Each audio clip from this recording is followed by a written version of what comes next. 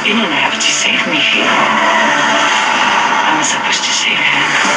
I'm sorry. What exactly are you sorry about, Thony? Losing my mom or taking him from me? Why were the FBI even there? How they know about the drug? I need answers too, okay? Did you cut a deal? My son is dead because of you. Did you call the feds? You're making some dangerous accusations. The cleaning lady, all new next Tuesday on Fox. The MPU tackles a